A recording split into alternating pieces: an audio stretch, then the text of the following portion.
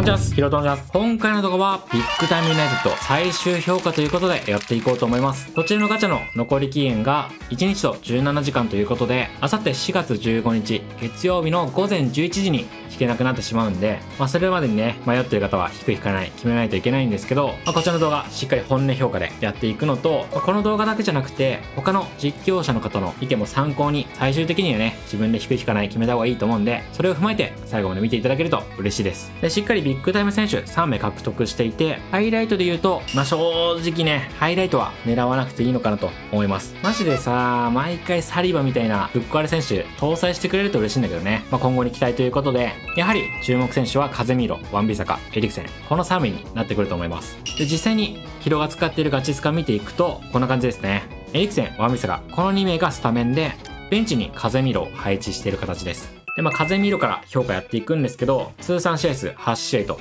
まあ、オンラインではなかなか使わなかったかなというような選手で、まあ、フレマを合わせると20試合ぐらいは使ったかな。まあ、使用感含めて話していくと、まあ、守備の部分で見るとね、めっちゃ強いです。対人戦、あと近いボールへの反応。そこはいいんですけど、スピードの部分ですね。足速くてドリブル上手い選手。少しでもね、後手に回っちゃうと、まあ、どうしても対応できないし、裏抜けパスへの反応。まあ、カーソルを合わせて向かってもね、ちょっと追いつけないこともあるんで、まあ、やはりライカールトとか、ザカリアでも十分かなというような印象を持ちました。まあ、そこに関しては、ボランチの選手としての評価で、風見のセンターバックでめっちゃ化けると思うんだよね。確か裏総合値最高104とか105いってた気がするんだけど、まあ、そのぐらいのポテンシャルありますし、センターバックで使いたいね。スキルも優秀だから。ただポジ的がさ、マジで貴重じゃん。もう少しね、配布頻度高かったら、センターバックで使って、みんなにおすすめできたんだけど、まあ、現段階、ガチャで出てくる状態で見ると、まあ、ザカリア・ライカールト、そのあたりのアンカール選手で十分かなと。だからといって弱いって言ってるわけじゃないんでね、しっかりめっちゃ強い選手なんですけど、まあ、優先度は低いかなと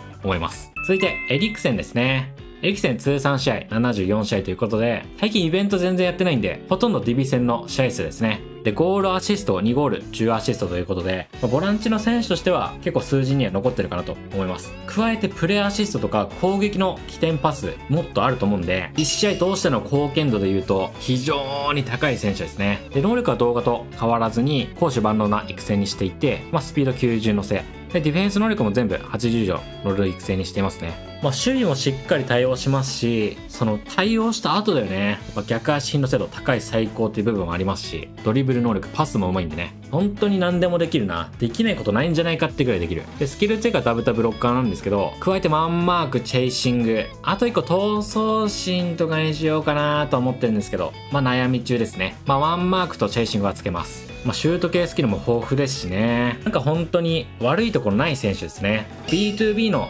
動き出しが苦手な方だと、まあちょっと使いにくいかなっていう部分はあるんですけど、まあそこを含めて気にならない方は、ぜひね、獲得してほしい選手です。で、このチャンネルね、結構辛口評価するんで、お前の動画見てガチャ引く気なくなったとかいう方もいるんだけど、まあ本音で話すんでね、そこはしょうがないんですよ。ただそんな辛口評価をするチャンネルでも、イリクセン、本当に激推し選手なんで、中盤の補強をしたい方は、エリクセン狙いで引いてもいいと思います。まあ、エリクセン、ワンビサカ、この二人スタメンに入れてから、最高レートも更新できましたし、マジで今後もスカットに残ってくるかなというような選手ですね。そして偉いのがね、適正トップ下もついてるんで、より攻撃的に行きたいときは、まあ、1枚中盤の選手上げて、3オムフとか、そういった対応もすぐにできるんで、まあ、使い勝手が良すぎるね。エリクセンはここ最近獲得した選手の中でも一番と言っていいほど自分は満足している選手です。まあ、エリクセンの最終評価としては、今言ったようにもう何の文句もない選手なんで、ぜひエリクセン欲しいけどどうなんだろうと気になっている方は引いても後悔はしないと思います。そして3人目、ワンビサカの評価ですね。まあ、同じく74試合起用していて、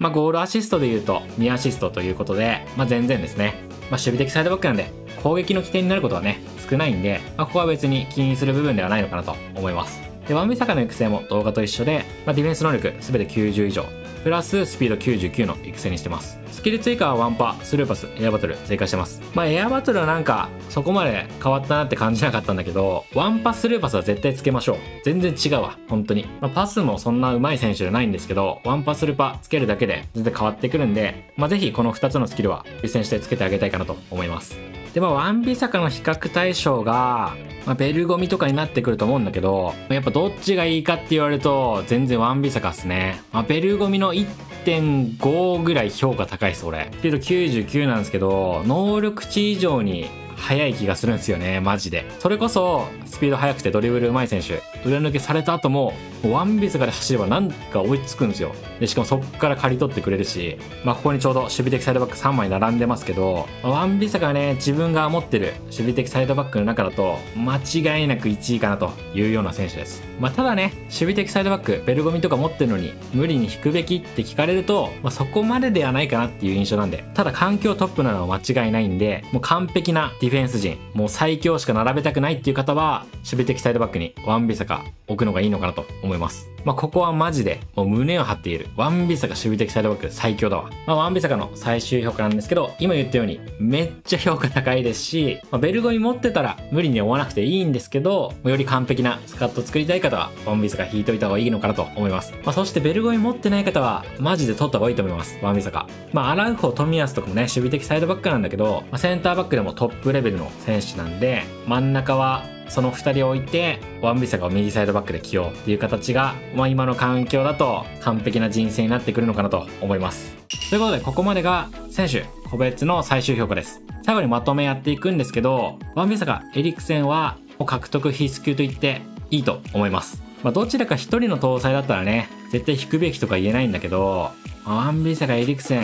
どっちもね、めっちゃ強いんで、マジで引いた方がいいと思います。まあ、カゼミーロも必須級とまではいかないんですけど、十分強い選手ですし、まあ、引いて後悔はしないガチャかなと思うんで、このチャンネルで言うと、まあ、少しでも迷っている方は引いちゃった方がいいのかなと思います。まあ、そして今後ね、公式告知もあったサビオラとかフィーゴ、この辺りの選手とどっち引けばいいですかっていう方がいるんだけど、補強ポジションが全然違うんで、フォワードの選手欲しいなら、フィーゴとかそっち引けばいいですし、中盤、そして守備的選手が欲しい方は、ビッグタイムユナイテッド、こちらを引いた方がいいのかなと思います。まあ、こちらのジェラード、アーノルド、シーマンが搭載されているエピックガチャについては、昨日評価動画出しているんで、気になる方はぜひそちらチェックしてください。まあ、あとは配信、今日も明日も多分やるんで、まあ、ぜひね、個別で質問がある方は、配信だとすぐに返事できるんで、ぜひ気軽に来てほしいのと、お時間合わない方は、こちらの動画のコメントとか質問いただければ、その都度答えていくんで、まあ、ぜひね、活用していってください。まあ、最後になるんですけど、あくまで個人の意見なんで、参考程度に頭に入れていただけると嬉しいです。これからも色々な動画投稿していくんで、ぜひ最後にチャンネル登録、高評価してお待ちください。それではまた次回の動画でお会いしましょう。バイバイ。